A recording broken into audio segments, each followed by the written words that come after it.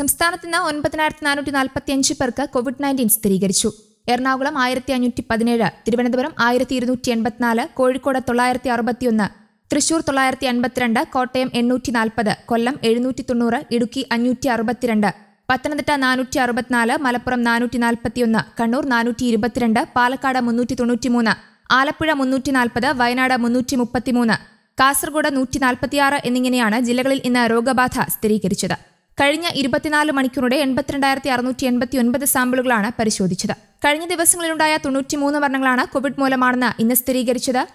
ഇതുകൂടാതെ സുപ്രീം കോടതി വിധി പ്രകാരം കേന്ദ്ര സർക്കാരിന്റെ പുതിയ മാർഗനിർദ്ദേശമനുസരിച്ച് അപ്പീൽ നൽകിയ നൂറ്റി തൊണ്ണൂറ്റി മരണങ്ങളും മതിയായ രേഖകളില്ലാത്തത് കാരണം സ്ഥിരീകരിക്കാതിരുന്ന കഴിഞ്ഞ ജൂൺ പതിനെട്ട് വരെയുള്ള മുന്നൂറ്റി മുപ്പത് മരണങ്ങളും റിപ്പോർട്ട് ചെയ്തിട്ടുണ്ട്. ഇതോടെ സംസ്ഥാനത്ത് ആകെ മരണം ഇരുപത്തിയൊൻപതിനായിരത്തി തൊള്ളായിരത്തി എഴുപത്തി ഏഴായി ഇന്ന് രോഗം സ്ഥിരീകരിച്ചവരിൽ ഇരുപത്തിയെട്ട് പേർ സംസ്ഥാനത്തിന് പുറത്തുനിന്നും വന്നവരാണ്. ഒൻപതിനായിരത്തി അറുപത്തി ഒൻപത് പേർക്ക് സമ്പർക്കത്തിലൂടെയാണ് രോഗം ബാധിച്ചത്. ഇരുന്നൂറ്റി തൊണ്ണൂറ്റിയേഴ് പേരുടെ സമ്പർക്ക ഉറവിടം വ്യക്തമല്ല. അൻപത്തിയൊന്ന് ആരോഗ്യ പ്രവർത്തകർക്കാണ് രോഗം ബാധിച്ചത്. രോഗം സ്ഥിരീകരിച്ച ചികിത്സയിലായിരുന്ന ആറായിരത്തി എഴുന്നൂറ്റി ഇരുപത്തിമൂന്ന് പേർ രോഗമുക്തി നേടി. സംസ്ഥാനത്തെ വിവിധ ജില്ലകളിലായി രണ്ട് ലക്ഷത്തി അറുപത്തി എണ്ണായിരത്തി അറുന്നൂറ്റി മുപ്പത്തി ഒൻപത് പേരാണ് ഇപ്പോൾ നിരീക്ഷണത്തിലുള്ളത്. ഇവരിൽ രണ്ട് ലക്ഷത്തി അറുപതിനായിരത്തി മുന്നൂറ്റി അൻപത്തി ഒൻപത് പേർ വീട് അല്ലെങ്കിൽ ഇൻസ്റ്റിറ്റ്യൂഷണൽ ക്വാറന്റൈനിലും എണ്ണായിരത്തി ഇരുന്നൂറ്റി എൺപത് പേർ ആശുപത്രികളിലും നിരീക്ഷണത്തിലാണ്.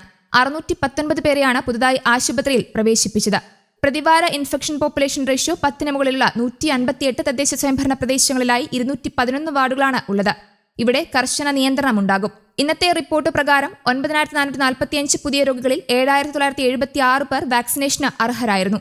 ഇവരിൽ രണ്ടായിരത്തി ഒരുന്നൂറ്റി തൊണ്ണൂറ്റി മൂന്ന് പേർ ഒരു ഡോസ് വാക്സിനും മൂവായിരത്തി മുന്നൂറ്റി മുപ്പത്തി മൂന്ന് പേർ രണ്ട് ഡോസ് വാക്സിനും എടുത്തിരുന്നു. എന്നാൽ രണ്ടായിരത്തി നാനൂറ്റി അൻപത് പേർക്ക് വാക്സിൻ ലഭിച്ചതായി റിപ്പോർട്ട് ചെയ്യപ്പെട്ടിട്ടില്ല. കോവിഡ് വാക്സിനുകൾ ആളുകളെ അണുബാധയിൽ നിന്നും ഗുരുതരമായ അസുഖത്തിൽ നിന്നും സംരക്ഷിക്കുകയും ആശുപത്രിവാസത്തിന്റെയും മരണത്തിന്റെയും സാധ്യത ഗണ്യമായി കുറയ്ക്കുകയും ചെയ്യുന്നു.